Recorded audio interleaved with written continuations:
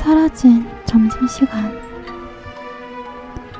내가 고등학생일 때 이야기. 그날은 확실히 점심시간 끝나고 1시간 반 정도 있다가 체육관에서 전교생이 모일 예정이었다. 나는 점심시간 내내 친구와 교실에서 수다를 떨며 시간을 보냈다.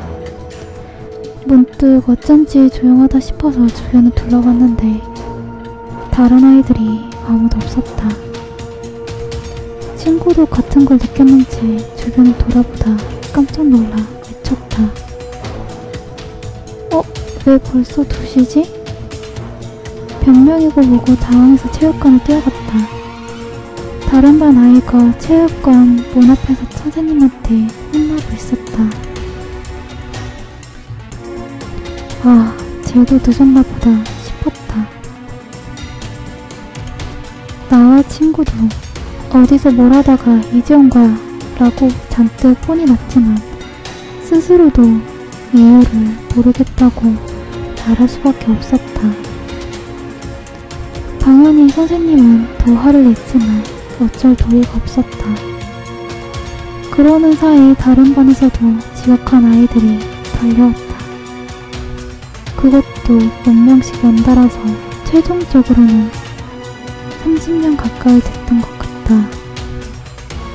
늦게 온 아이들은 모두 왜 늦게 왔는지 모르겠어요 라던가 정신을 차리니까 집합 시간이 한참 지나 있었습니다 라고 말했다. 그리고 나와 친구처럼 다들 자기 교실에서 점심 시간을 보내고 있었던 것 같다. 그 지경이 되니 화가 잔뜩 나 있던 선생님도 늦게 온 아이들이 너무 많다는 사실에 당황했던 것 같다. 결국 어영부영 다들 체육관으로 들여보내는 걸로 그 자리는 마무리가 됐다. 상당히 많은 인원이 빠졌는데도 담임 선생님들조차 알아채지 못하다니 지금 와서 생각해보면 참 이상한 일이다. 전교생이 모이는 집회 때는 전원이 모였는지 꼭 세어보곤 했었는데 종종 이 사건을 떠올릴 때마다 도대체 무슨 조화였는지 궁금해지고는 한다.